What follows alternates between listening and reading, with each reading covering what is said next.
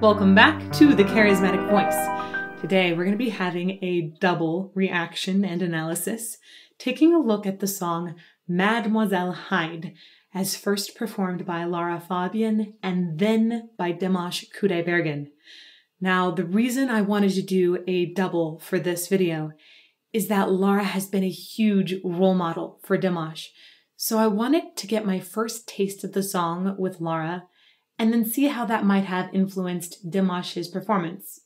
In addition, these two are also tied together by the composer Igor Krutoy, who wrote the song with Lara and has written many other songs now for Dimash. So I think this is going to be really fun to dig into and analyze. Let's get to it. Lara Fabian.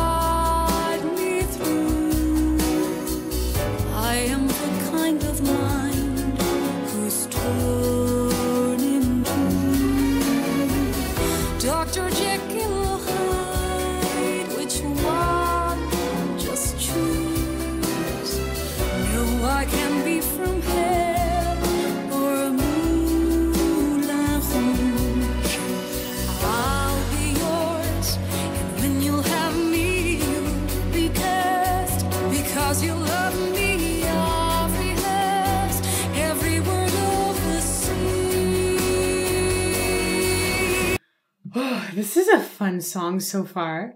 There's an element of danger in it, along with uh, it feels like sort of like Arabian influence in the music. It felt like it could have been an Aladdin.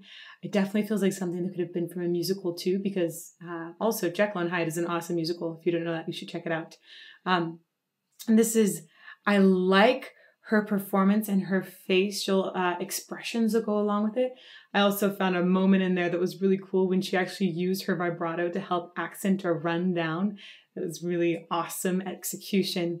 And it's fun to see Igor playing the piano as well. Okay, let's keep going. We need to catch that transition again.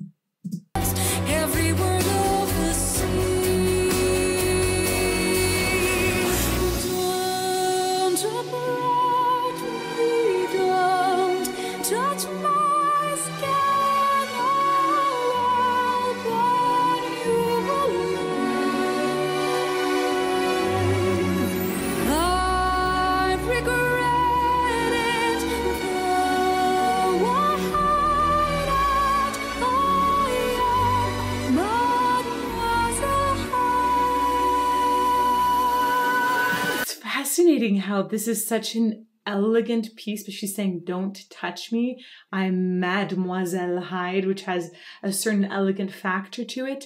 But then uh, it's it's commanding in a lot of ways, but entrancing and draws you in. It's got this juxtaposition, which really fits with the idea of Jacqueline Hyde.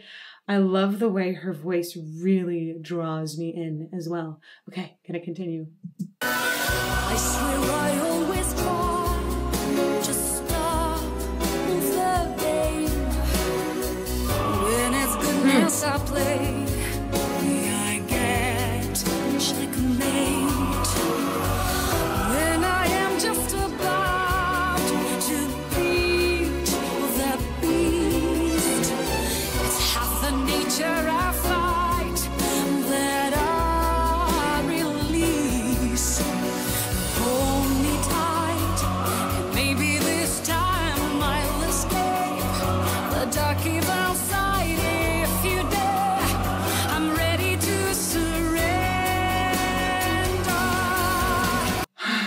I think she's I think she's playing two personalities in this. Um I it seems like it's starting to develop more clearly to me right now, but she has this like more dangerous uh kind of like more of a sorceress approach to it seemed like maybe the bad side. Um and that was more in her chest voice as well, so it was deeper and also more sensual at the same time. Love the full orchestra and choir behind her. It definitely makes it feel like a big like a really big musical theater piece. I'm enjoying it a ton. Uh, let's go back, uh, and it uh, catches transition.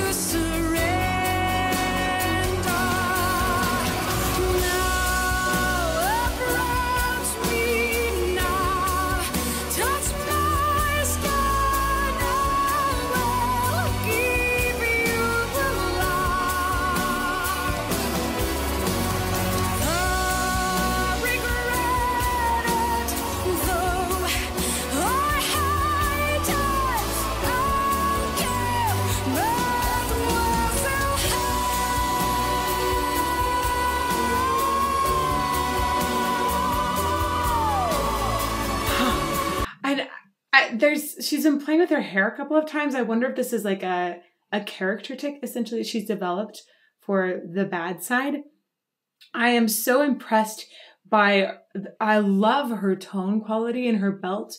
It feels like it really is a believable character that is dangerous right now and a little bit um on edge. It's fun. Okay, back a little bit.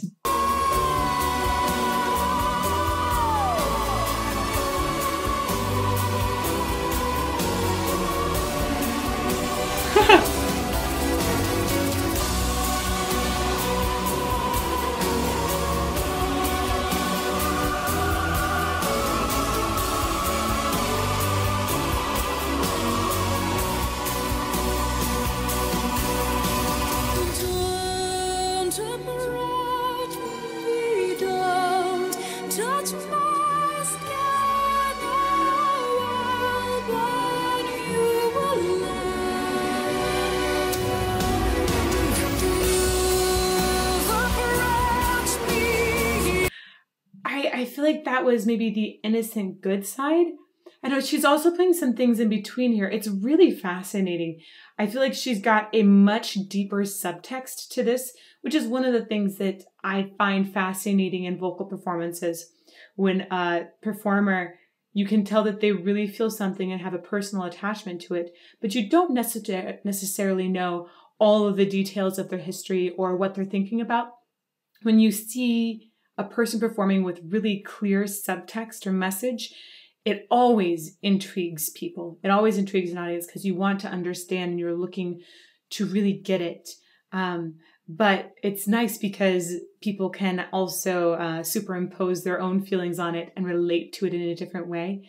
So it's better for it to not be totally 100% uh, transparent. This is this is fascinating the way that she's flipping in different characters right now. I'm really loving it. Let's go back a little bit. So innocence here or fragility.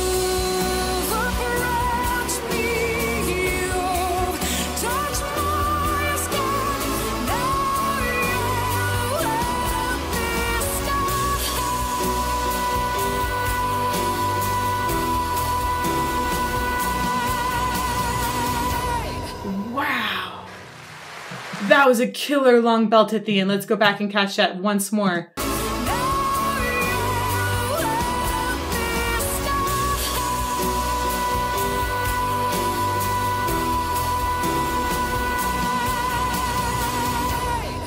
Ooh, I like the way she bit the word off too at the end.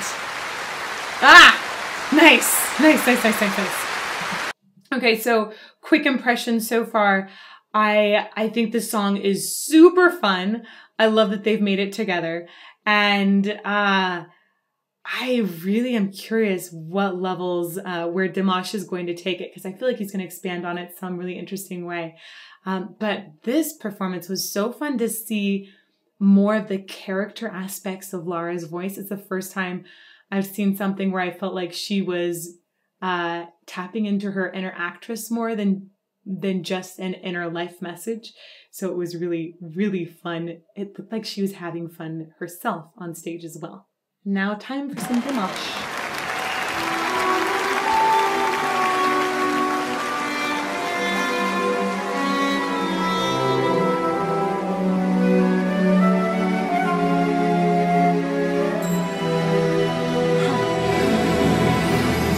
Okay, before we start singing, just really interesting knowing this is three years later in the same venue. Uh, it's going to be, I think, a little bit different arrangement, but the color choices already give you some indication of where this might go. Laura's background had a lot more blue and it felt a little more black and white, a little more classical in that nature, a little more cold. And then these colors are very red in nature, so you feel like it's just going to be more fiery in some way.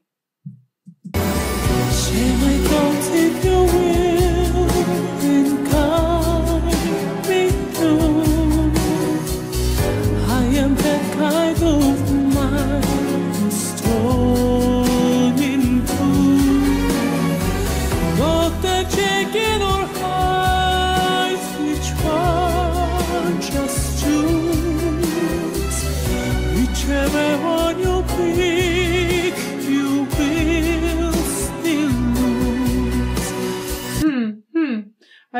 in his uh, upper register. It feels, uh, it feels more innocent in a lot of ways, uh, and I'm I'm looking for that juxtaposition of characters now uh, that I didn't know to look for at first when I was listening to Laura. Um, it's a really pretty tone though up there. It feels uh, similar to Laura's higher tone. It has a certain fragility in it that feels like maybe this person is going to be uh, ripped apart by these two voices. Uh, I think the orchestra in this one is smaller as well. So just to note, it looks like they still have a full choir, but it looked like the orchestra um, just had fewer members.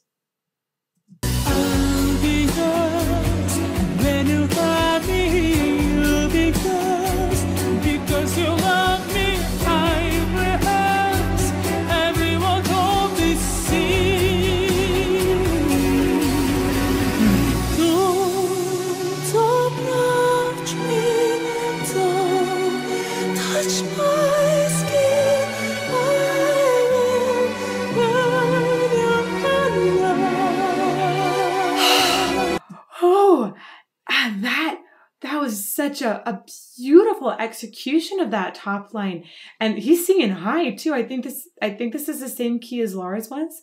Whoa, um, and he's singing it right where she was. That's really really cool. Um, I love the airiness that he brought into his tone, and I also love having uh, the subtitles in this version so I can catch any words I missed the first time.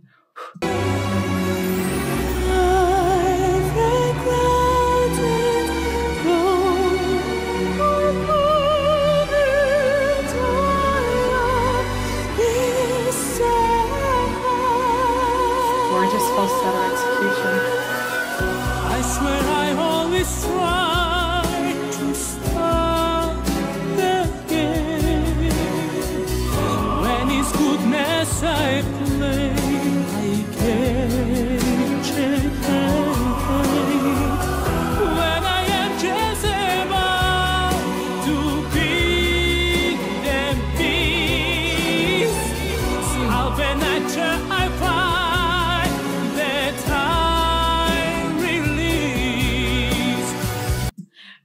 interesting how they add a couple of effects in uh they might have added them live but they put them on like a mixing board afterwards. There's like a short delay that they pulled in after beast. We'll go back and catch that so you can hear it again. Uh, i like that because it made it sound like there was another voice singing with him for a bit. Uh, i'm also i feel like i've seen a few familiar faces in this choir which makes me wonder how many of the orchestra and choir members on stage were here before Obviously, we have Igor playing the piano once again, so that's pretty awesome. It'd be so cool to do the same piece but in a different style two different times. Wow, I just think that'd be a really awesome experience. Uh, let's go back and catch that moment where there was a, a short delay put on Dimash's voice. Okay, right there. So B, and then you hear E, E, E, kind of hanging out in the background.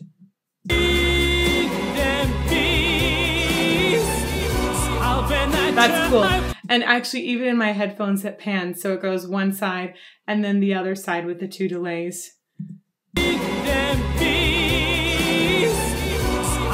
Cool. I like that effect a lot.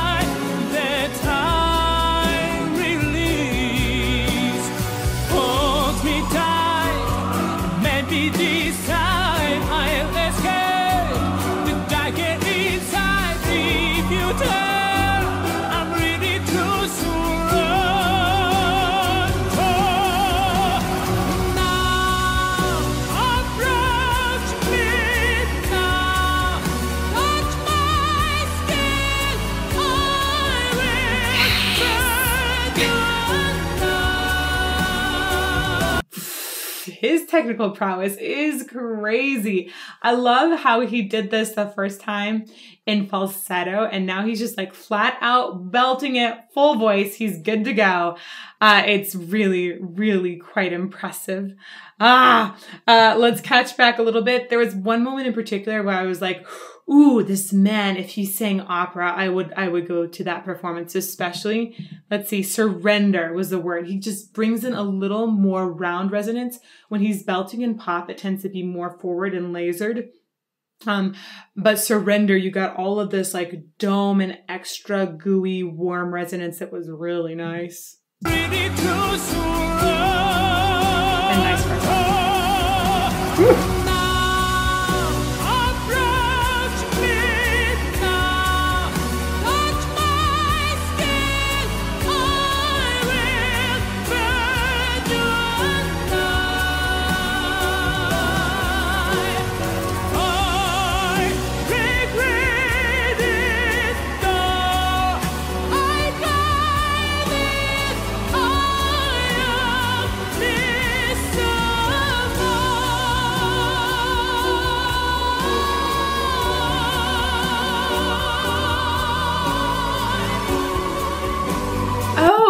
They did the same delay on Hyde at that cutoff. So that same like uh, panned delay in two different areas.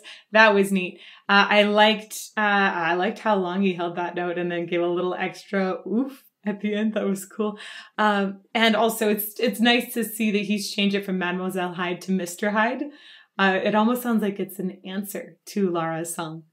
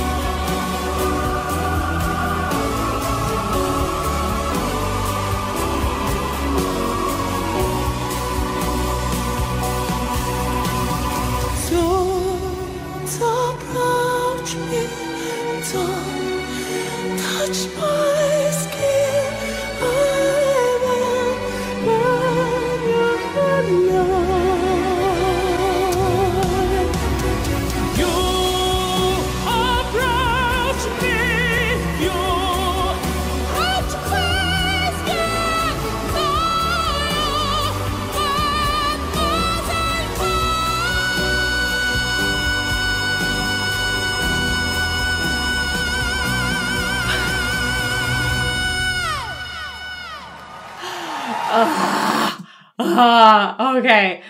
The belted note at the end. Wait, what note is that? Uh, I'm into my, my keyboard on. I don't have it on right now. It was off. Sorry. Um, we'll check that note in just a bit.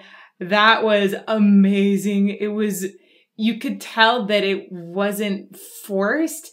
It had a lot of laser and focus in the sound, but at the same time, it had freedom in the larynx. I didn't feel like he was using his tongue to depress the larynx to make the sound come out or something like that. Uh, I that was a really really fantastic belted note at the end. Um, I didn't catch the first time. I think Laura must have said, "Now you're Mr. Hyde," and he said, "Now you're Mademoiselle Hyde." Uh, so that's sort of an interesting flip at the end of the piece. I don't think that Laura's had this uh, catwalk. Is that we want to call that a catwalk? It's this pathway this that extends a thrust stage. I think might actually be the technical term for it. They have that at Opera Theatre of St. Louis too. So uh, I don't think that they had that. Uh, I like the way that Dimash used it at the end, uh, and obviously I like the way that he prepped to make it a really really dramatic ending as well. And you can really tell that he's taken the juxtaposition of voices that Lara was already digging into some and uh, given given that uh, a male take, which is very, very cool. Let's go back um, and catch this last note again, and I'm going to check what the pitch is.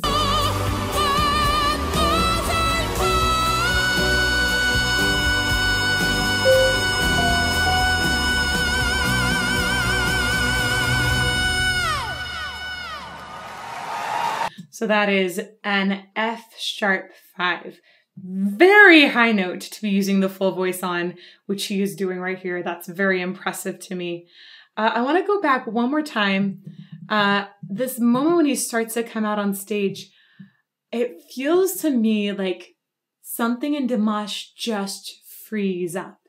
I think I think Dimash really feels best as a performer when he is moving around on stage and like able to go out and like reach out to the audience in some ways.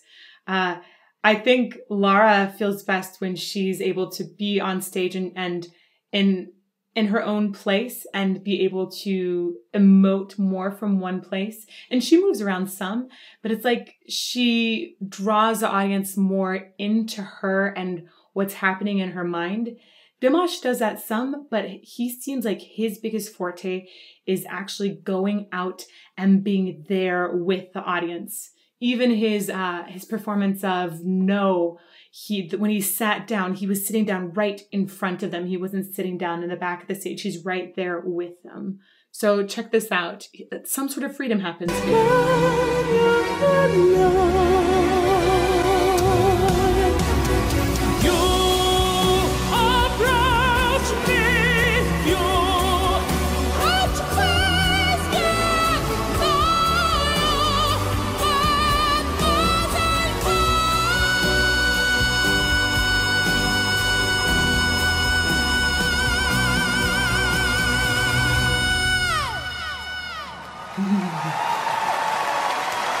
Wow, that was that was that's an awesome ending, an awesome pose there. And I definitely am seeing that pattern. I think that Lara takes more inspiration and, and energy. She's more of an inside out person. And I think Dimash takes it more from the audience. They both do both ways, but it just seems like one of them might prefer one way or the other. Overall take on this song is that it is a really cool composition. Bravo to Lara and Igor for that. I love the way that they've really tapped into that good and evil side, the Jekyll and Hyde, and the way that they've captured that too in where the song sits for vocal registers.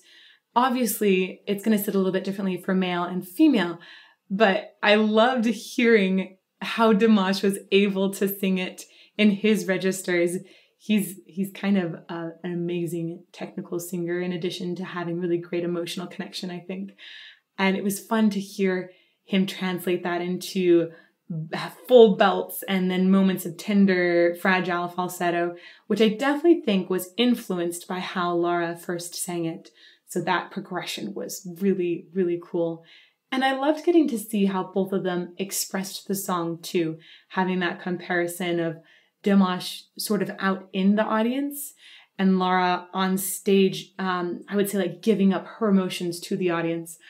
Uh, fascinating, um, fascinating to see the whole progression through. So thank you so much for this recommendation and for watching the entire two videos with me. I love your input and I would love to have more. I have a Patreon where you can join me every week for live video chats. And I also am here on YouTube for premieres on Mondays and Fridays at 8 a.m. Pacific time. Now, I don't want you to miss out on one of the coolest things that's coming up here soon. I'm going to be having my 100,000 subscriber party on October 2nd at 9 a.m. We're going to have giveaways. Uh, I'm going to be drinking mimosas. So please come and join us for that live stream event. It's going to be so much fun. And I'll hope to see you somewhere soon. Thanks.